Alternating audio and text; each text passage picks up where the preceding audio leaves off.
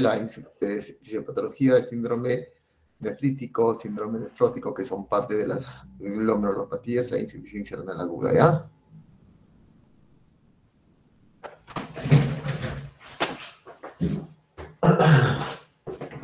Ya saben que los riñones son dos órganos eh, muy importantes, que son del tamaño de un puño que se encargan de procesar el 22 al 25% del débito cardíaco.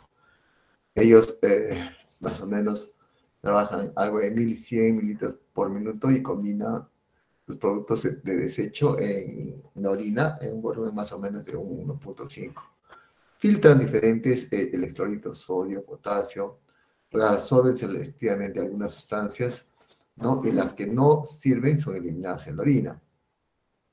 Esta riñón tiene una función endocrina y exocrina. Sabemos que se encarga de regular la presión a través de la activación del sistema renina-angiotensina endoterona y desde el punto de vista endocrina produce esta eritroproyectina que estimula la producción del globo rojo de tal manera que cuando el riñón se daña, ¿no? los glomérulos se dañan, no producen la eritroproyectina y los pacientes que tienen insuficiencia renal van a tener ¿no?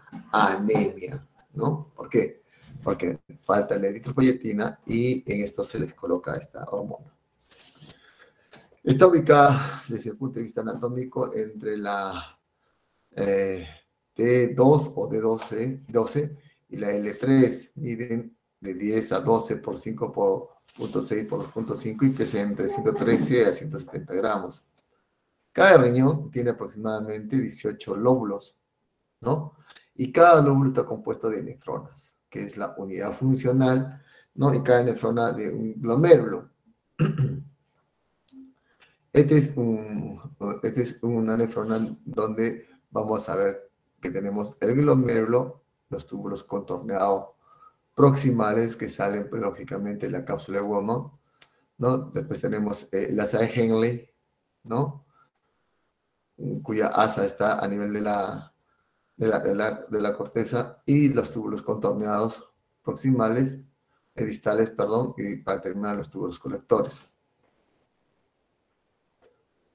Entonces, como decimos, eh, como dijimos, la nefrona eh, es la unidad ahí el riñón tiene bastantes unidades.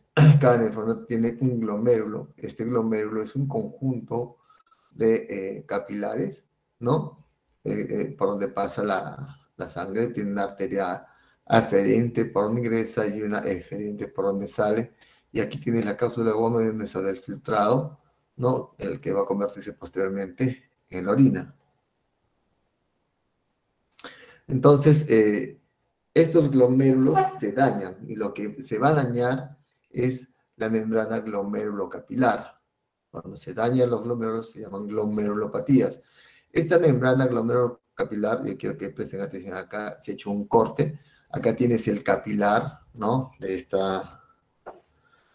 tienes el, capilar. Sí. Estos capilares están aquí y vamos a ver acá. Hemos hecho un corte a este nivel. Entonces tienes el capilar, ¿no? con su endotelio de los vasos. Tienes desde el de morado, que es la membrana basal, y tienes por afuera ya la, cápsula de Woman, donde lógicamente ya está formándose la orina. Tienes esta monocapa de células epiteliales que componen la superficie externa del, capilar y tapiza la cápsula de Woman. Entonces, la sangre va a sacar algunos desechos hacia la cápsula de Woman lógicamente, que es la que posteriormente se va a convertir en orina. Entonces la membrana capilar tiene estas tres, tres partes, ¿no? Entonces, esta, las células epiteliales están unidas a la membrana nasal por extensiones citoplasmáticas individuales denominadas extensiones podálicas. Los glomérulos filtran la sangre ¿no? y va a permitir el paso de algunas sustancias, ¿no? Por ejemplo, eh, de la sangre al espacio de goma va a pasar el agua, glucosa, algunos aminoácidos. Sin embargo, evita ¿no? que pase de la sangre a la cápsula de goma ¿no? algunas partículas grandes, como por ejemplo proteínas y células plasmáticas células hemáticas, de tal manera que cuando nosotros encontramos en orina proteínas y algunas eh, células como los, por ejemplo, hematíes, eh, que son, se caracterizan por ser eh, hematíes crenados en forma de estrellita, decimos que hay un daño a nivel glomerular. ¿No? Entonces, el mecanismo de la lesión glomerular, ¿no? se produce y se llama, por ejemplo, glomerulonefritis, un proceso inflamatorio, ¿no? que compromete estructuras glomerulares de la membrana glomerulocapilar y que va a causar enfermedad renal crónica, ¿no? Y pueden causar en algunos casos también enfermedad renal aguda, ¿no? Las principales causas de la glomerulonefritis son primarias, ¿no? Eh, como la van a ver, no va a haber algunos mecanismos a través de los cuales se va a dañar la membrana glomerulocapilar y la secundaria, que son secundarias como se, ah, enfermedades crónicas como la diabetes, el lupus, el hematoso y otras más que vamos a ver. Se caracteriza clínicamente porque debe haber el acúmulo de azoados, creatinina, urea, presión elevada, oliguria disminución de la filtración glomerular, velocidad de filtración glomerular. Entonces, eh, en la glomerulonefritis se estimula una respuesta inflamatoria proliferativa que puede ser en cualquiera de sus eh, eh, eh, componente de la membrana glomerulocapilar. Puede ser una lesión a nivel de las células endoteliales de los vasos, de las células mesangiales, ¿no? Y de las células epiteliales. Entonces, este proceso inflamatorio lesiona la pared capilar y permite que los glóbulos rojos salgan a la orina y provoquen el cambio dinámico que hace que disminuya la velocidad de filtración glomerular. Este es otro esquema en donde tenemos el vaso, la luz del vaso, ¿no? E-, esta luz del vaso, tenemos la membrana basal que está en negrito, ¿no? Tenemos las células endoteliales del vaso, la membrana basal, y también tenemos las células epiteliales que están fuera, ¿no? Y todo esto es el espacio de Entonces, cuando hay algún mecanismo de depósito de, de, de daño, ¿no? De, por ejemplo, de anticuerpos o lesiones, por depósitos a nivel subepitelial ¿no? Como se da en la glomerulonefritis eh, infecciosa, como se da también, por ejemplo, eh, eh, los depósitos subepiteliales en la nefropatía membranosa, como se da también, por ejemplo, los depósitos subendoteliales, o sea, ya en el vaso, o puede ser a nivel mesangial. Entonces, El mecanismo de las glomerulonefritis eh, es autoinmune, ¿no? La lesión de los anticuerpos que reaccionan contra los antígenos de los glomerulares fijos, ¿no? Eh, la producida por antígeno anticuerpos circulantes queda atrapados en la membrana glomerular. Entonces, el origen de los antígenos pueden ser endógenos o exógenos, endógenos como por ejemplo como los anticuerpos contra el ADN en el lupus eritematoso exógenos, ¿no? Como los antígenos de la membrana del estreptococo, ¿no? De la glomerulonefritis postestreptocócica, esta eh, se caracteriza porque eh, se presenta una o dos semanas después de la infección faringea y hasta seis semanas después de una infección cutánea producida por este estreptococo beta grupo A, también puede ser producida por alguna infección viral o mm, una infección por estafilococo. También acá es otro mecanismo que se estaba mencionando, si tú puedes diferenciar, tenemos las células epiteliales, y sería el espacio de Wodman, la membrana basal que está de naranja acá, de naranja, y tenemos las células endoteliales que son las que están acá de, mucho más, eh, más rojizo que la membrana basal, ¿no? Entonces, ah, hay un mecanismo por el cual los anticuerpos de la membrana glomerular van a ingresar, ¿no?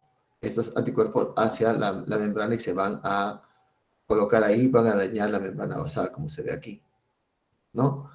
Hay otro que se llama depósito de complejos antígeno-anticuerpo, que puede localizarse a nivel subendotelial, eh, eh, eh, a nivel de la membrana basal o subepitelial. Hasta aquí, más o menos se, entiende más o menos cómo es el, daño. ¿Se está copiando bien, jóvenes? Sí, doctor, sí se está copiando bien. Entonces, hay, gracias, hay bastantes eh, eh, eh, formas de las glomerulopatías. Las principales son estas que se ponen acá, por ejemplo, la glomerulonefritis proliferativa aguda, la glomerulonefritis rápidamente progresiva, el síndrome nefrótico, la glomerulonefritis membranosa, la enfermedad de cambios, con cambios mínimos, la glomerulosclerosis segmentaria focal, la nefropatía por IgA y la glomerulonefritis crónica, para que tengan conocimiento. Desde el punto de vista fisiopatológico, vamos a hablar ahora del síndrome nefrítico y el síndrome nefrótico. ¿no? Eh, son dos patologías eh, que se eh, caracterizan por un daño a nivel glomerular. La primera, el síndrome nefrítico, se va a caracterizar porque el paciente va a tener hematuria, proteinuria, disminución de la velocidad de filtración glomerular, que va a llevar a la oliguria y que si, no se soluciona va a dar una insuficiencia renal, ¿no? Lógicamente con retención de sal de agua, con edemas, hipertensión. Eh, las características de este síndrome eh, se da, hemos dicho, por una lesión a nivel del glomérulo, una lesión inflamatoria, el cual es autolimitada con tendencia a curar en días o semanas. Nosotros normalmente eliminamos, no debemos eliminar proteínas, pero si nosotros hablamos eh, así se cierta, se debe eliminar 0.5 miligramos por kilo. Es decir, que si una, ustedes pesa 60 kilos o 50 kilos, debe eliminar 100 miligramos de orina. De tal manera que cuando uno pone eh, en examen completo de orina esa cintita para ser proteinuria, va a salir negativo porque esa cintita que te indica que hay proteínas positivos cuando se tiene 150 miligramos de proteínas. Acá en este caso va a haber, eh, va a haber eh, proteinuria de un rango nefrótico, es decir, menos de 2 gramos por día sea menos de 2.000 miligramos por día. Entonces, la hematuria es por el daño de la membrana capilar que permite el pase eh, al espacio de Bondman. La hematuria puede ser microscópica o puede ser macroscópica. Entonces, eh, eh, ¿cómo se va a detectar esto? En el sedimento urinario, la presencia de cilindros hemáticos, ¿no? estos eh, eh, cilindros hemáticos te van a decir que hay un síndrome nefrítico, ¿no? La glomerulonefritis prostatocócica es la que más frecuente hace síndrome nefrítico. Ya que una serie de causas, por ejemplo, que producen síndrome nefrítico, causas bacterianas, una infección a nivel de la faringe por estreptococopiógenes, endocarditis por estafilococo o estreptococo viridans, ¿no? Un, un con hidrocefalia, abscesos virales por estafilococcus pseudomonas, neumonía por neumococo, la Klebsiella pneumoniae, micoplasmas, meningitis por meningococo, estafilococo. También tenemos infecciones virales producidas por el virus de inmunodeficiencia adquirida, hepatitis B, hepatitis C, Epstein-Barr, citomegalovirus, varicela, rubiola, mononucleosis etcétera. También parasitarias, ¿no? Malaria, esquistosomiasis, toxoplasmosis, filariasis, y algunos hongos como Candida albicans, ¿no? Y algunas riquezas, ¿no? Estas son glomerulonefritis primaria que eh, no, no son muy frecuentes. También el síndrome nefrótico puede ser debido a esta serie de enfermedades sistémicas, ¿no? Lupus eritematoso, Henoch-Leucemia, trioglobulinemia, vasculitis necrotizante, poster, síndrome urémico hemolítico, púrpura trombocitopénica, trombopénica, ateroembolismo renal, etcétera. Entonces, si hacemos un resumen del síndrome nefrítico, vamos a tener un daño a nivel glomerular, se va a dañar ¿no? la membrana glomerulocapilar, es un daño inflamatorio que va a producir el filtrado glomerular, ¿no? De hematíes, por eso va a haber hematuria, ¿no? De proteínas, pero un rango de 2 gramos por día, no sea, es, es elevado, pero no tanto como en síndrome nefrótico, que es de más de 3.5. Y esto va a hacer que disminuya el filtrado glomerular. Si disminuye el filtrado glomerular, la función renal se va a ver alterada, ¿no? Y el paciente va a tener azoemia. Se va a incrementar la urina creatinina que nos dice que puede estar entrando eh, a una insuficiencia renal y, lógicamente, oliguria, ¿no?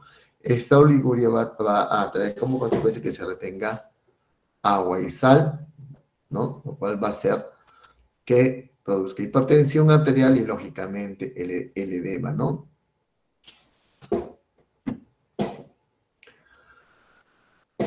Vamos a pasar por esto porque no, eh, esto no mm, es para el diagnóstico. Ya cuando hagamos clínica lo vamos a, ver porque si no, no, no nos va a alcanzar el tiempo. El síndrome nefrótico ¿no? es otra glomerulopatía ¿no? que puede ser eh, primaria cuando se diagnostica a los menos de 15 años, generalmente es idiopática. ¿no? Eh, se da también en enfermedades eh, secundarias que se dan los adultos, como por ejemplo diabetes, amiloidosis, lupus. Aquí las diferencias es que el síndrome nefrótico va a tener una proteinuria masiva de más de 3.5 gramos por decilitro, el nefrítico es menos de 2, ¿no? Hipoalbuminemia, lipiduria, edema generalizado, hiperlipidemia con colesterol mayor de 300 miligramos por decilitro, ¿no? Entonces, nosotros vamos a ir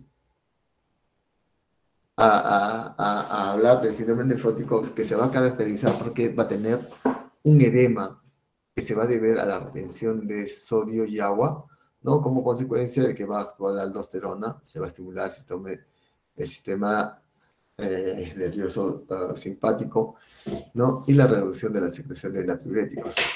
También va a haber disminución de proteínas por debajo de los niveles para mantener una presión mucótica en el espacio vascular. Este síndrome nefrótico se caracteriza porque puede presentar disnea por edema agudo pulmón. La disnea puede deberse a derrames eh, pleural, ¿no? Puede deberse también a, a, una citis, ¿no? Eh, también vamos a ver que hay vulnerabilidad a las infecciones y esto se relaciona con las pérdidas de proteínas. Y si hablamos de proteínas, están acá las inmunoglobulinas, ¿no? Y también las que forman parte del complemento que ozonizan. Se pierde también proteínas fijadoras por la orina, lo que ocasiona disminución, por ejemplo, de zinc, cobre, y de algunas hormonas y fármacos. Recuerden que estas van mm, transportadas en la sangre por proteínas que son algunas, ¿no? Entonces tiene mayor riesgo a complicaciones trombóticas, por pérdida de factores coagulantes y anticoagulantes. Y a lo que les dije, la hiperlipidemia, como lo vamos a ver al final. Entonces, el síndrome nefrótico se define como una proteinuria masiva mayor de 3.5 gramos ¿no? por día o más de 3.5 gramos por 1.73 metros cuadrados de superficie corporal. ¿no? En los niños, mayor de 40 miligramos por hora por metro cuadrado ¿no? Lo que yo les dije, normalmente se debería menos de 150 miligramos si queremos hacer el screening con la cintita o más, o lo que debemos eh, es, saber 2 miligramos por kilo por día.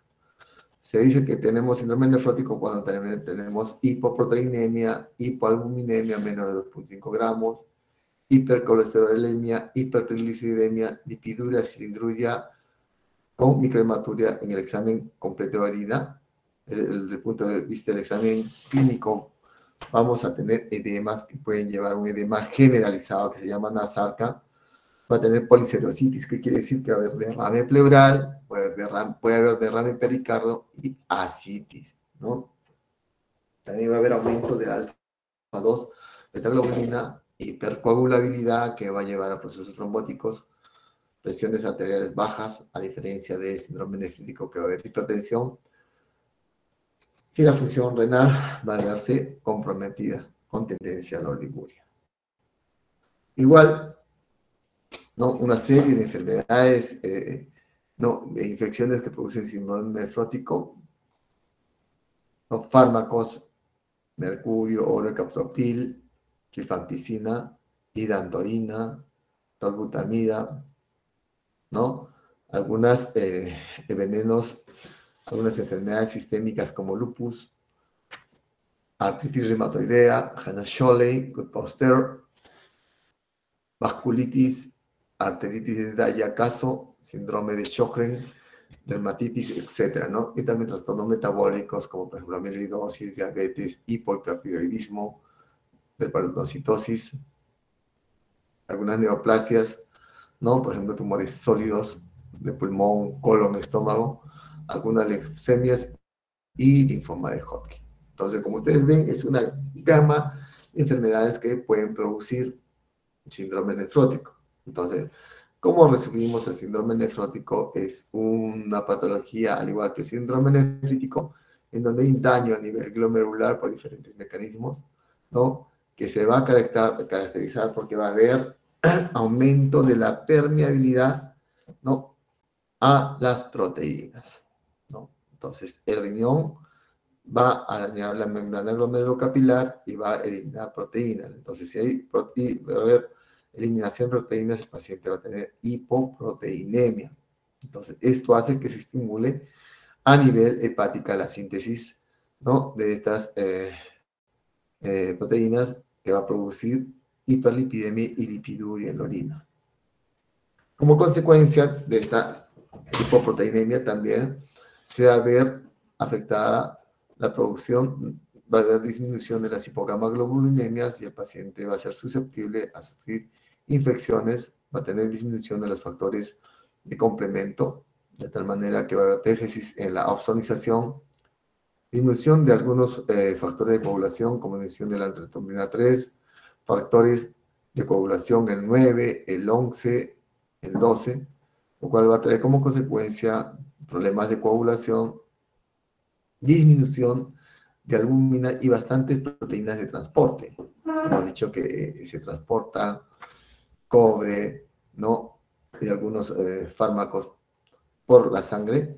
Como hay disminución de esto, vamos a tener problemas, ¿no? Con el, transporte de, estos, estas sustancias. Entonces, ante esta eliminación de las proteínas, especialmente la albúmina por la, por la orina, entonces se va a detectar en perfil hepático la hipoaluminemia, ¿no? Eso va a traer como consecuencia que disminuya la presión oncótica del, del plasma. Entonces, si disminuye la presión oncótica, ¿qué va a pasar? Va a haber un paso del líquido del intravascular al intersticial, o sea, va un trasudado, ¿no? Y haber un edema así bien serio, ¿no? Con un signo de fobia 3 sobre 3. Ya un edema que puede llevar, inicia en los miembros inferiores, que llega a rodilla, después muslo, y hacerse generalizado, conocido como anasata. Entonces, si disminuye la presión oncótica, o sea, hay paso del líquido del intravascular al, extra, al intersticial, lógicamente el volumen plasmático efectivo va a disminuir. Y sabemos que el riñón funciona con volumen. Si disminuye, vamos a tener como consecuencia deterioro de la función renal. Esta disminución del volumen plasmático va a hacer que se aumente la hormona antidiurética, ¿no? ¿Para qué? Para que no, no elimine mucha orina, aumente el tono simpático, vaya a vasoconstricción, ¿no? Y aumente el renina, angiotensina, aldosterona, que es un potente vasoconstrictor, con el afán, ¿no? De, de que aumente la filtración glomerulosa. Y, lo que va, ¿Y cómo va a ser eso? Que estos van a producir retención de agua y sal, ¿no? Lo cual también va a contribuir a que haya más edema. Hasta aquí eh, la primera parte. No sé, eh, esta es una serie de, de patologías en donde se compromete el glomérulo los, lo que es, nos ha pedido la bibliografía que revisemos síndrome nefrítico y síndrome nefrótico. ¿No? Ya se han visto las diferencias, síndrome nefrítico, hipertensión, una hipoproteinemia que no es más de dos, mientras que el síndrome nefrótico, si hay una proteína hipoalbuminemia, ¿no? Con una proteína de más de 3.5 gramos por día. Ahora vamos a hablar sobre la insuficiencia renal aguda. ¿No? Ya, ya conocen ya este esquemita que ya le hemos visto hace un momento. ¿no? Esta nefrona.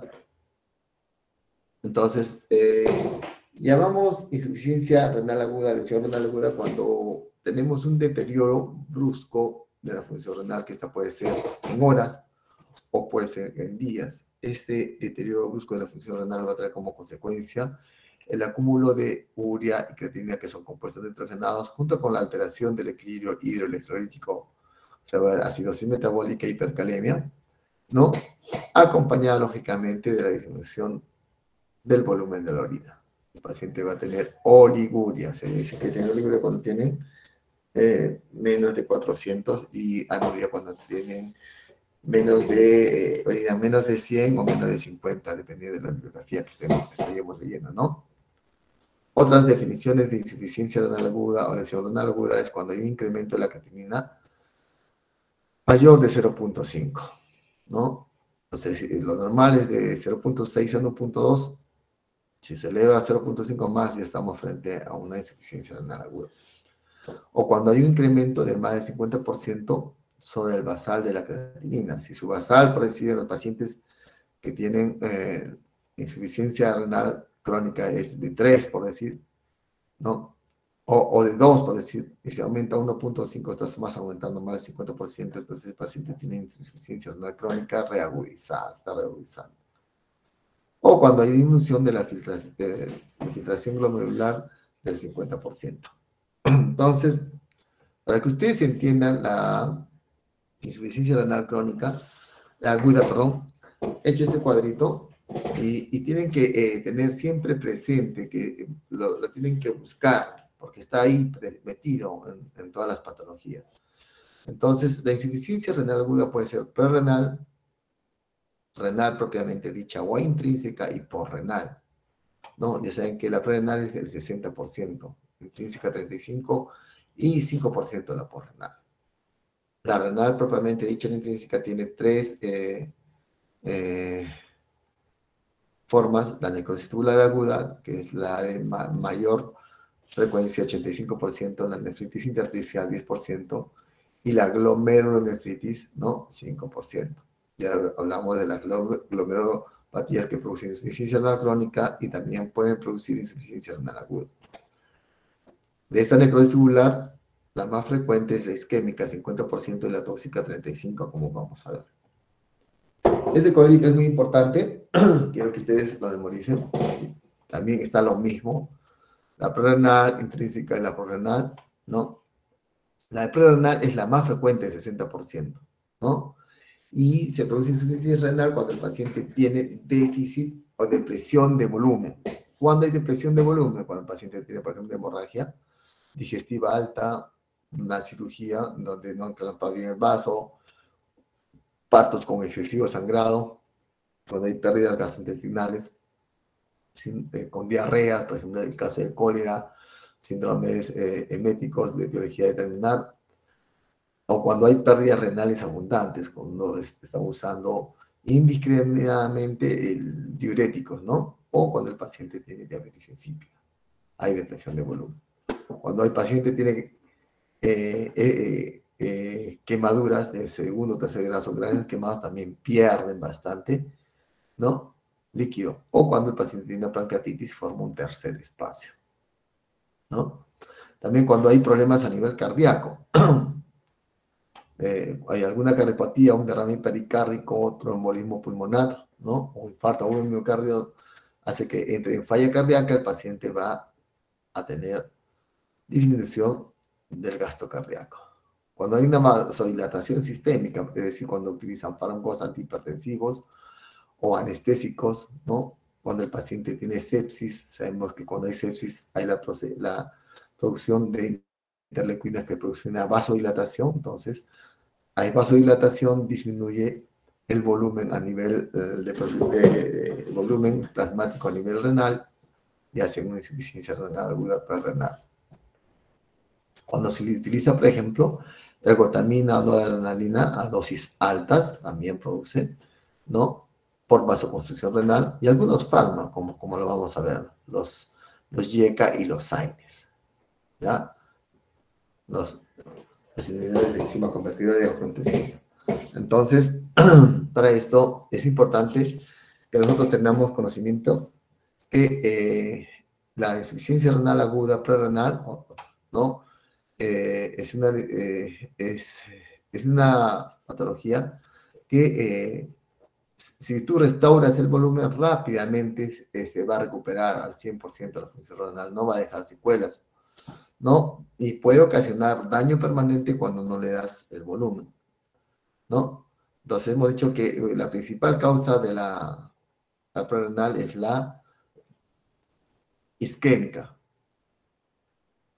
Hay que tener cuidado en los ancianitos porque estos son muy susceptibles ¿no? a hacer insuficiencia renal porque generalmente tienen mucha predisposición a sufrir hipovolemia, ¿no?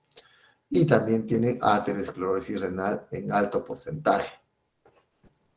También hay que tener en cuenta que hay enfermedades vasculares renales, por ejemplo, como la estenosis bilateral de la arteria renal, ¿no? O, eh, eh, o, un paciente que tenga un riñón único, entonces, que es sometido a IECA también va a producir eh, esta insuficiencia renal aguda renal. Los AINES, ¿no? En pacientes hipo o, perfundidos renalmente, ¿no? Va a producir insuficiencia renal aguda renal. Algunos inmunosupresores que se utilizan en trasplante renal actúan como vasoconstrictores de la circulación renal y producen también insuficiencia renal aguda renal, independientemente de su potencial toxicidad no directa al riñón que puedan tener estos inmunosupresores, como por ejemplo la ciclosporina. También, eh, ¿cómo podemos producir eh, la insuficiencia renal aguda renal de forma iatrogénica? O sea, por error médico, ¿no? Cuando usas indiscriminadamente los diuréticos. Y si utilizas cancelanos peor, hay mucha gente que ah, eh, entra deshidratado por una diarrea y le han pedido sedimento urinario, quieren que orine y le ponen furosemida. Está mal, primero tienes que hidratarlo al paciente.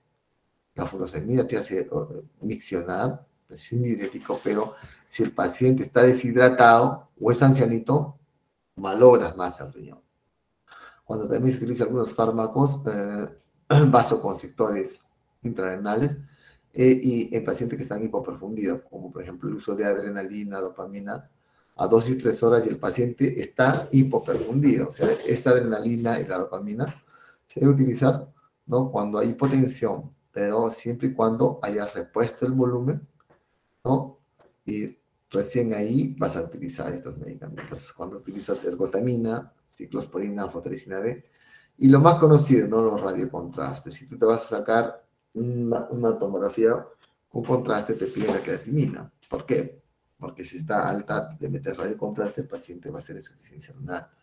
Entonces, por eso hay que hidratar bien ese paciente. ¿De acuerdo?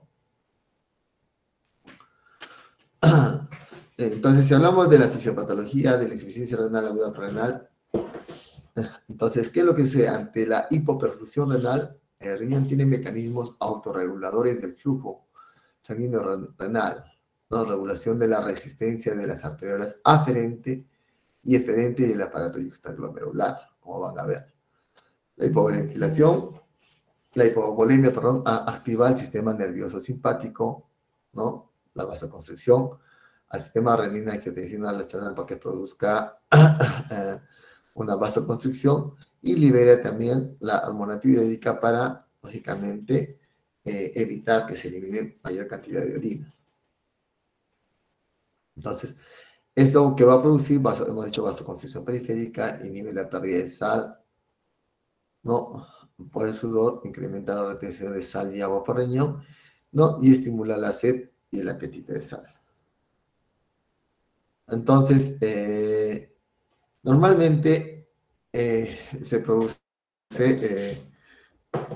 prostaglandinas vasodilatadoras de las arterias eh, eh, glomerulares, ¿no? Eh, tipo prostaciclina y prostaglandina 2, ¿no? También hay cininas, óxido nítrico, que inducen la vasodilatación de las arteriolas aferentes glomerulares, ¿no? También mientras que la angiotensina 2 produce la vasoconstricción de las arteriolas aferentes, ¿no? Y así se van a mantener, ¿no? Un flujo o un filtrado glomerular normal, ¿no? Entonces, ¿qué es lo que, para que ustedes entiendan, qué es lo que va a pasar, ¿no? Esta es la arteriola aferente, la arterial eferente. Entonces, normalmente las prostaglandinas van a aumentar la aquí va a haber una vasodilatación para que entre el líquido acá al glomérulo y acá va a haber una vasoconstricción, ¿no? Vasoconstricción. De tal manera que acá el, flujo de perfusión va a estar normal y este eh, eh, glomérulo va a funcionar, ¿no? Entonces, eso aquí produce las, las prostaglandinas, ¿no? Pero ¿qué pasa? Cuando la presión arterial es menos de 80 milímetros de mercurio, la presión sistólica, este mecanismo se va a, eh, ya no va a funcionar. Y, y, esto, y este mecanismo, ¿no? También eh, va a ser eh, así en ancianos, aquellos pacientes que tienen nefroesclerosis o nefropatía diabética, pero cuando la presión ya no sea menos de 80, va a ser menos de, mucho más alta, menos de 90, menos de 100. Entonces, es por eso que debemos tener cuidado siempre cuando se utilice AINES y cuando se utilice los inhibidores de la enzima convertida de angiotensina y ARA2. ¿Por qué los AINES? Porque los AINES van a inhibir la producción de prostaglandinas y 2 y 2 que producen vasodilatación de la arteria aferente. Entonces, si no hay vasodilatación, se va a cerrar esta arteria y lo que va a pasar, no va a llegar la suficiente cantidad de flujo sanguíneo al glomérulo y se va a malograr. Y si también estás utilizando inhibidores de la YECA, de la enzima convertidora de angiotensina hora 2, ¿no? Lo que producen estos, eh, la enzima convertidora de angiotensina es la vasoconstricción en vez de la arteria eferente, ¿no? Entonces, como estás colocando este inhibidor, va a haber una vasodilatación y de tal manera que va a salir sangre por acá en mayor volumen, disminuyendo el, flujo a este glomérulo, el cual va a entrar en una disminución con falla, no va a llegar a la insuficiencia renal. Hasta aquí, jóvenes, eh, ¿se escucha bien? Sí, doctor, todo correcto. Ya hemos hablado sobre esta insuficiencia renal prerrenal, ahora vamos a hablar sobre la intrínseca. Específicamente, eh, intrínseca porque, o renal propiamente dicha, eh, ¿qué encuentras en, los, ¿cómo se dice? En los, en el riñón vas a encontrar túbulos, intersticio, glomérulos y vasos, ¿no? Si se daña los, el daño el interior del túbulo, vamos a tener la necrosis tubular aguda, ¿no? Que tiene dos formas, isquémica y tóxica. La isquémica, ¿no? Tiene las mismas causas de la insuficiencia renal aguda prerenal, o sea, estas depresión, causa de depresión del volumen, disminución del gasto cardíaco, vasodilatación, vasoconstricción renal. Si no la solucionas, hace que se dañe el, los túbulos no renales y hacen una necrosis tubular aguda isquémica. Sin embargo, hay la otra parte que es la necrosis tubular agua tóxica que se da cuando el paciente es sometido a algunas sustancias o medicamentos que producen daño de los túbulos renales. ¿no? Entonces, tenemos tóxicos exógenos o cuando es sometidos a tóxicos endógenos. Cuando es sometido a tóxicos exógenos, todos sabemos, por ejemplo, que los aminoglucósidos son nefrotóxicos, pueden producir necrosis aguda. Por ejemplo, también el aciclovir el Foscarnet, los antiinflamatorios no esteroideos, ciclosporina, tóxicos como el etilenglicol, tolueno, venenos de serpiente, algunas toxinas bacterianas. Y hay algunas sustancias endógenas que están en nuestro cuerpo, ¿no? Que si el paciente está deshidratado o si se encuentra en altas concentraciones libre en la, en la sangre, va a producir daño renal porque se filtran por... La hemoglobina está en el músculo ¿no? Y si hay altas concentraciones en la sangre, como vamos a ver el, eh, por qué, va a producir necrosis aguda, la hemoglobina, el ácido úrico, que se, esté elevado en los pacientes que tienen gota, el ácido oxálico, la hipercalcemia y las cadenas ligeras que se dan en los pacientes que tienen mieloma. Entonces, va a producir necrosis tubular aguda tóxica, ¿no? Entonces, ya hablamos eh, del de la necrosis isquémica son las mismas causas, ¿no? De la insuficiencia renal aguda renal, ¿no? Sino que están, eh, no se han solucionado, ¿no? O son severas, ¿no? Y pueden causar lesión. Entonces pueden participar otros factores como por ejemplo nefrotóxicos ¿no? o, sepsis especialmente en pacientes hospitalizados. ¿no?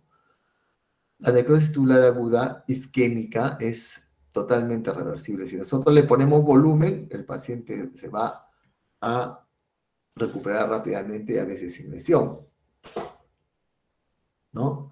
Entonces, eh, también hay necrosis aguda cuando el paciente eh, se obstruye la microvasculatura renal, como se da en los pacientes que tienen síndrome urémico hemolítico, una reacción transfuncional por incompatibilidad ABO, o cuando el paciente es sometido a un veneno producto de una picadura de serpiente. Esta necrosis aguda isquémica se da generalmente en los hospitales, por ejemplo, no se practican cirugías mayores, el paciente puede tener hipovolemia severa, ¿no? O sepsis o gran quemado, ¿no? Se da también en cirugías cardiovasculares, cuando se clampa la aorta abdominal prolongadamente o usan circulación extracorpórea.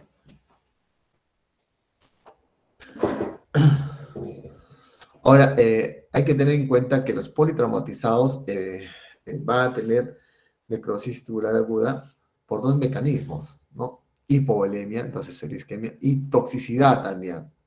¿Por qué? Porque está la mioglobina, ¿no? Como consecuencia del daño muscular presente en altas cantidades en la sangre, ¿no? Entonces, como, eso se llama rabdomiolisis. En los quemados también, los quemados que tienen más del 15% de eh, superficie corporal quemada, ¿no? va a producir necrosis aguda en el 20 a 40%, ¿no? Los factores son hipovolemia, porque el gran quemado bota volumen, sepsis, producen, la, producen vasodilatadores, la miolisis, ¿no? Toxicidad por antibióticos también. Y los sepsis va a tener una necrosis aguda por dos factores, por la presencia de interleuquinas que producen vasodilatación periférica y la constricción renal. La necrosis tubular aguda tóxica, ya le hemos dicho, pueden ser eh, eh, por tóxicos exógenos y endógenos, ya lo hemos visto, ¿no? El mecanismo nefrotóxico son daño tubular directo, vasoconstricción y obstrucción intratubular. Entonces, los, los pacientes que son sometidos eh, a contrastes para radiografía producen necrosis tubular aguda, ¿no? Y eso se da más todavía si el paciente está deshidratado, si tiene una nefropatía diabética, si tiene una enfermedad renal, insuficiencia cardíaca, no insuficiencia hepática, hipertensión, hiperglucemia y mieloma múltiple. Los aminoglucósidos se producen necrosis tubular aguda no oligúrica, o sea, quiere decir que el riñón eh, va a seguir funcionando, va a seguir produciendo orina y eso se da en el 10 al 30%, ¿no? Incluso si reciben aminoglucosis a dosis terapéuticas, ¿no? Y se manifiesta después de la segunda semana del tratamiento. Muchas veces el paciente ya salió de alta. Los factores por los cuales los aminoglucósidos producen una necrosis tubular aguda es eh, que va a construir eso es el uso repetitivo y prolongado de los aminoglucósidos, la edad avanzada, si el paciente está deshidratado, pero y el uso de otros nefrotóxicos. Es decir, utilizas aminoglucósidos, por ejemplo, más cefalosporina, que son nefrotóxicos, ¿no? O aminoglucósidos y por ejemplo.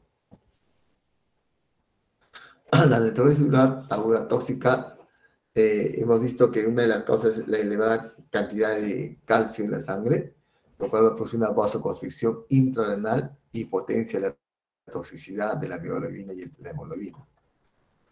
Otra causa es la ah, mioglobina en altas concentraciones eh, en la sangre se da cuando hay una rabdomiolisis.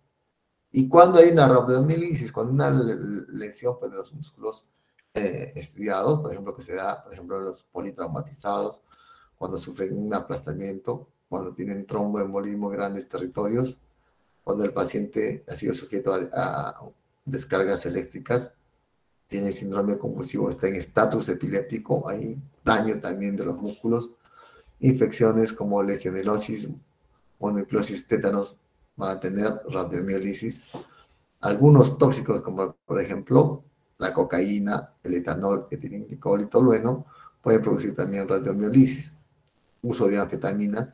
La lovastatina, que se utilizaba mucho en los pacientes que tienen eh, hipercolesterolemia, también produce radiomiolisis. Por eso que las estatinas hay que tener mucho cuidado de preguntarle a estos pacientes que reciben para el, colesterol elevado si están orinando o rojo, porque eso puede ser mioglobina que está saliendo por la orina.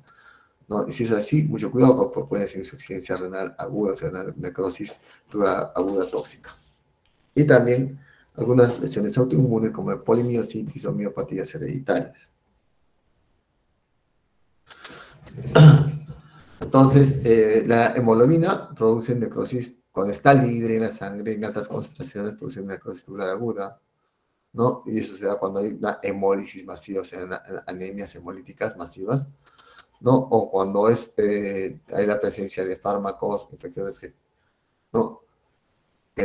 o causas genéticas como, por ejemplo, el déficit de glucosa 6-fosfato deshidrogenasa, o mecánicos, por ejemplo, cuando hay una circulación extracorpórea o prótesis.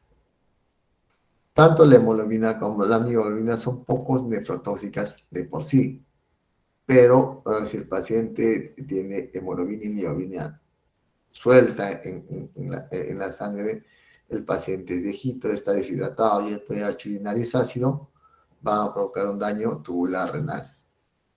¿De acuerdo? Otro mecanismo, por ejemplo, es la acumulación de eh, ácido úrico que se da en los pacientes que tienen gota mal controlada o, por ejemplo, los pacientes que tienen mieloma múltiple con la presencia de proteínas de cadena ligeras. Entonces, eh, eh, eh, si vamos a hablar de la fisiopatología de la insuficiencia renal aguda intrínseca, hemos, se ha escogido la necrosis aguda la más representativa porque tiene la mayor frecuencia. Entonces es producida, hemos dicho, por daño isquémico y tóxico de las células epiteliales de los túbulos. Este daño de las células epiteliales se va a traducir a una reducción de la filtración glomerular. Y si disminuye esta filtración, ¿no? Lógicamente va a haber el, el riñón que se va a dañar, ¿no? Entonces, los mecanismos, va a haber una vasoconstricción y contracción mesangial, escameación de las células tubulares, obstrucción intratubular por detritus tubulares y reflujo, eh, flujo retrógrado a través del tubo, tubo dañado, ¿no? Entonces, ¿qué es lo que va a pasar acá? Este es eh, el túbulo, los túbulos renales, ¿no? la necrosis tubular se está lesionando todos los, los, el epitelio tubular, va a, va a salir hacia la luz es la luz de los túbulos colectores, entonces se van a obstruir, se va a obstruir. Y si se obstruye el túbulo, ¿qué va a pasar? No, si se obstruye este nivel, no, el glomérulo eh, que está filtrando normalmente la orina así sin presión, ya no lo va a poder hacer y se va a dañar. ¿Por qué? Porque hay una obstrucción a este nivel. ¿De acuerdo? Entonces, la fisiopatología de necrosis tubular aguda isquémica se caracteriza porque va a haber alteraciones hemodinámicas y daño tubular. ¿no? Dentro de las alteraciones hemodinámicas tenemos la contracción mesangial que va a producir una reducción del coeficiente de ultrafiltración. Una vasoconstricción también produce reducción del flujo plasmático renal y presión glomerular. Y la congestión medular que produce hipoxia en la médula externa. Todo esto va a traer como consecuencia reducción del filtrado glomerular sea, falla renal. También por su lado, el, daño tubular, no va a haber una, como una obstrucción tubular que va a reducir el, el, filtrado glomerular y una retrodifusión, o sea, hacia arriba, que va a dañar el glomérulo.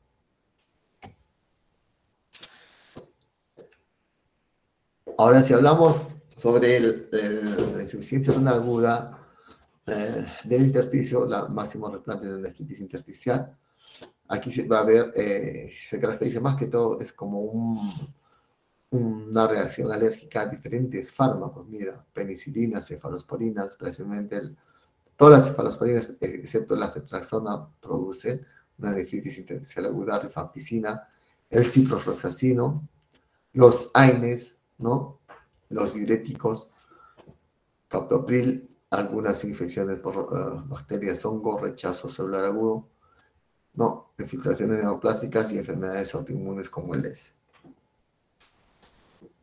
¿No? Hemos dicho, como dice, una causa, una reacción alérgica a los fármacos. Si tú retiras, si tú retiras este fármaco, se va a, evitar más daño, ¿no? ¿no? Son menos frecuentes las enfermedades autoinmunes, hemos dicho LES, filtrativas como la sarcoidosis, infecciones como la legionellosis o la infección por cantavirus. Para retirar el agente causal, se mejora. Los glomérulos lo vamos a pasar rápidamente.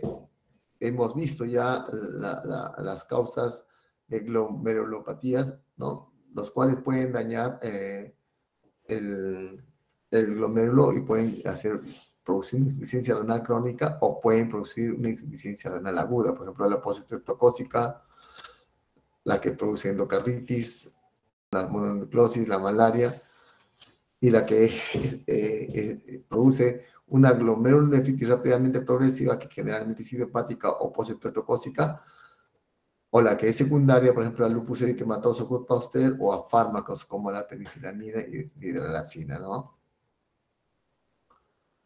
Entonces, vamos a hablar ahora sobre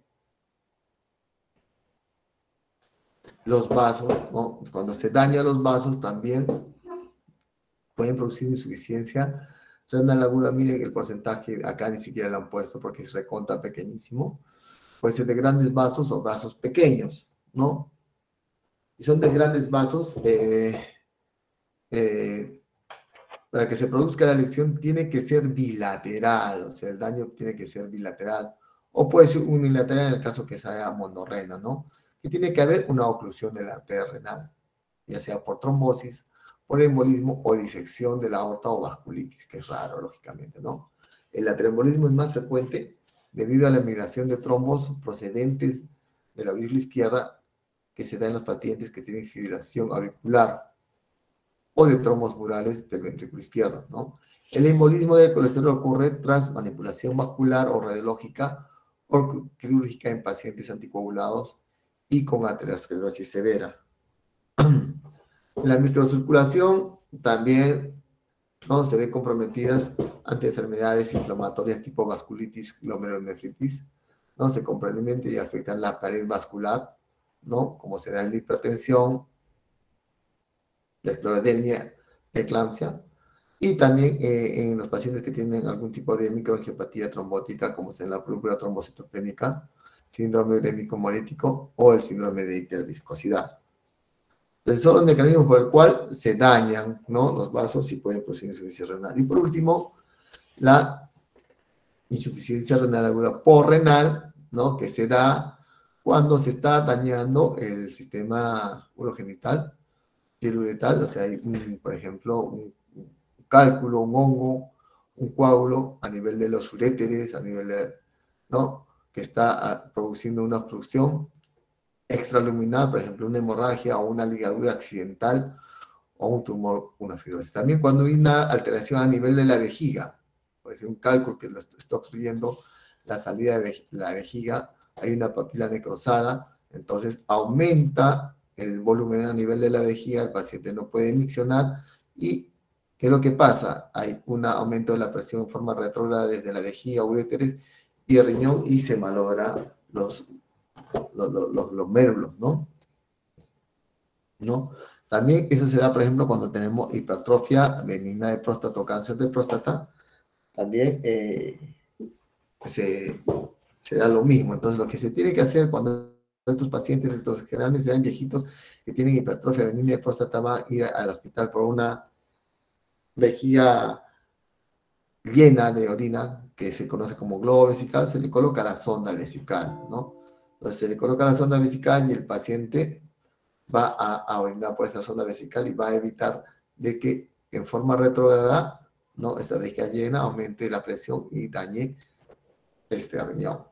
Entonces, eh, dice, se supone eh, obstrucción bilateral, hemos dicho en varias, en las vías urinarias altas, tiene que ser en ambas o unilateral. Entonces, el aumento de la presión de las vías urinarias se transmite retrogradamente hacia el glomérulo y cuando la presión del espacio urinario glomerular supera la presión de filtración, cae el filtrado glomerular. Las causas de insuficiencia renal por renal, hemos dicho, obstrucción del cuello de la vejiga, como sea en el caso de hipertrofia venida de próstata, cáncer, infección vejiga neurogénica, uso de anticolinérgicos, obstrucción intraluminal por coágulos, cálculos bilaterales, necrosis de papila y cáncer de vejiga. ¿Qué alteraciones vamos a encontrar si hablamos de la fisiopatología? Vamos a encontrar alteraciones tubulares y hemodinámicas, ¿no? Y depende de la severidad de la obstrucción. Duración y si es unio bilateral. En las primeras dos a tres semanas, eh, eh, primeras horas, perdón, se incrementa la presión intratubular del túbulo proximal. Luego haber un aumento de la presión capilar glomerular debido a la vasodilatación de la arteria afferente mediada por las prostaglandinas, ¿no? Después de la terciava hasta las 12 a 24 horas, post-obstrucción, el flujo renal plasmático desciende hasta un 25% de lo normal, ¿no? Y la presión intratubular también desciende. Las alteraciones tubulares que vamos a encontrar, La obstrucción renal produce un daño en las células tubulares que hace que disminuya la capacidad para reabsorber el potasio, el sodio y los hidrogeniones y se reduzca la capacidad para concentrar orina. Esto constituye, esto contribuye posteriormente a la poliuria de la desobstrucción.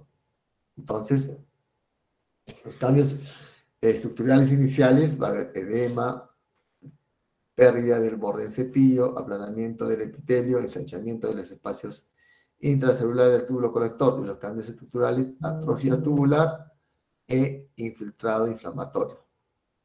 Si se corrige precozmente, hemos dicho en los casos de la neuropatía obstructiva con una sonda vesical, no eh, puede ser reversible. ¿De acuerdo? Entonces, el diagnóstico de la insuficiencia renal aguda, ¿no? O lesión renal aguda, se va a ir por eh, disminución de la, filtración glomerular, o sea, el paciente no orinar o orinar poco, va a haber incremento de compuestos nitrogenados, de urea y creatinina, ¿no? Muchas de sus causas son reversibles. Entonces se tiene que hacer una historia clínica de todo lo que produce la insuficiencia renal aguda. Hemos visto en ese cuadrito si tiene presencia de diarreas, vómitos, de tercer espacio con la pancreatitis, descartar si es que hay infecciones recientes, si hay litiasis, si hay dolor muscular, ¿no? Post ejercicio, si ha convulsionado, si tiene antecedentes de falla cardíaca, conectivopatías, etcétera, ¿no? Entonces se debe la revisión, siempre se debe pensar que el paciente puede tener una insuficiencia renal aguda. Los signos ya nos dicen que está fallando riñón es, signos de uremia, el paciente va a tener anorexia, hiporexia, náuseas, vómitos, temblor, acidosis metabólica, el signo de Kussmaul es el que es el que está eh, a la cabeza, la oliguria en el 40-50% de los casos. Hipertensión arterial sugiere eh, origen glomerular de la falla renal, signos dérmicos como ejemplo vasculitis, púrpura, nódulos cutáneos, ¿no? eritema lúpico, exantema, medicamentos respiratorios, presencia de crepitantes, que me dice que el paciente tiene edema agudo de pulmón, cardiovasculares, ruidos cardíacos arrítmicos, ¿no? Y la, palpación de la próstata, eh, si es que está grande, sabemos que puede tener neuropatía obstructiva. Entonces, ¿qué vamos a encontrar en el sedimento? Si estamos frente a una prerenal, es normal el sedimento urinario. Si es una necrosis aguda, va a haber la presencia de epitelios descamados, cilindros granulosos pigmentados, cuya cantidad no se relaciona con la gravedad. Y en la uropatía constructiva, hematuria no dismórfica, quiere decir que los hematíes no son crenados, no son como estrellitas, porque si son crenados, estamos frente a una lesión del glomérulo, la presencia de leucocitos y piocitos, ¿no? Los cilindros gruesos son de enfermedad renal crónica, ¿no? Los hemáticos de glomerulonefritis. Entonces se tiene que sacar eh, eh, exámenes, ¿no? hay que sacar cómo están los electrolitos, cómo está el potasio, cómo está la urea la creatinina, ¿no? También, eh, si el paciente tiene radiomiolisis, hay que ver si es que hay aumento de la creatinina fosfoquinasa, cómo está el fósforo generalmente bajo. Estudios de imágenes, eh, radiografía para ver el tamaño renal, más que la radiografía, la ecografía nos va a ayudar y nos va a dar las características de eh, cuánta corteza y cuánta médula hay eh, en ese riñón. Generalmente las ecografías de los riñones que, que, tienen insuficiencia renal aguda no vas a encontrar nada en la crónica, ¿sí? ¿No? El ecodople va a valorar la estenosis severa, trombosis o embolia de la arteria renal, ¿no? Lógicamente, se debe evitar el estudio de contraste con contrastes radiológicos porque si está dañado el riñón, lo vamos a dañar más todavía. Y la gamografía renal con radisótopos, ¿no? Estima el tamaño renal, el perfil de perfusión y el filtrado glomerular y la función renal. El tratamiento en la insuficiencia renal aguda prerenal es poner volumen porque está perdiendo el volumen. Ahí poner volumen, si hay una falla cardíaca y se soluciona esa, esa falla cardíaca con inotrópicos y expansores, ¿no? Si es la insuficiencia aguda intrarenal, ¿no? Retirar la sustancia, ¿no? O fármaco que está produciendo esta nefritis intersticial, anticoagulación y trombolisis en los casos de embolia o trombosis de la arteria renal, o inmunosupresores si son la glomerulonefritis la que está produciendo, ¿no? Una vasculitis. En la lesión renal aguda obstructiva o renal, ¿no? Se debe restaurar el flujo urinario colocando una sonda vesical. Ahora, si no se puede colocar una sonda vesical, se puede hacer una uh, ostomía a nivel de la, de la vejiga, o si no, también una cateterización intrauretral o pielostomía que, percutánea que se llama. El tratamiento, el tratamiento es la diálisis, ¿no? La, hemodiálisis ya no le corresponde a ustedes, la parte del tratamiento. Hay la, diálisis que, eh, aguda que se hace colocando un catéter venoso central de alto flujo. Después, eh, si el paciente ya entra en insuficiencia renal crónica, se hace la fístula arteriovenosa por donde va a recibir diálisis, o se hace la diálisis peritoneal intermitente o continua, ¿no? Pero en los pacientes que tienen insuficiencia renal aguda, la hemodiálisis por un catéter venoso central de alto flujo, ¿de acuerdo? Entonces, para terminar, yo no quiero que se olviden de este cuadrito, ¿no? Cuando vayas a hacer este, medicina 1, medicina 2, los tipos de insuficiencia renal aguda prerenal, intrínseca, porrenal y de la intrínseca, necrovestibular aguda, nefritis intersticial, que son las más frecuentes, ¿no? La prerenal en todo lo que producen, la prerenal, que son las mismas causas de la nefritis tubular aguda isquémica. ¿no? Recalcar que, por ejemplo, lo que utilizamos bastante, los antiinflamatorios, ¿no? Producen una insuficiencia renal renal, una necrosis tóxica, produce una nefritis intersticial. ¿De acuerdo? Entonces, mucho cuidado con los agentes. También los diuréticos, también los eh, inhibidores de la YECA. ¿Hasta aquí alguna pregunta, jóvenes? Ha sido rápido el, tiempo. El tiempo es. De hecho, me he hecho correr. ¿Alguna pregunta? Doctor, en el caso, sí, en el caso de un paciente que, ha tenido eh, problemas y se le hace la eh, se le pone el catéter. ¿Cada cuánto tiempo se tiene que cambiar ese catéter de... Ya, mira, estamos hablando de la insuficiencia renal aguda. Tú le colocas un catéter, eh, eh, la insuficiencia renal aguda, si tú solucionas, si es por, por ejemplo, por pérdida de presión de volumen, colocas el volumen y a pesar de ahí hace eh, acidosis metabólica, hipercalemia, intoxicación urémica, necesitamos darle diálisis, se le da tres o, tres o cuatro sesiones de diálisis nada más. O sea, una semana y, después se verifica que esté funcionando bien ese riñón y se retira. ¿Ya? Pero hay pacientes que van a utilizar, ¿no? eh, diálisis porque tiene una insuficiencia renal crónica, ¿no? Y el paciente eh, va a tener que usar eh, la fístula o hay unos catéteres permanentes que duran años. Que se coloca y se coloca bajo la piel, ¿no? No sé si he respondido tu pregunta. Ah, sí, doctor, muchísimas gracias. ¿Alguna pregunta más, Jonet?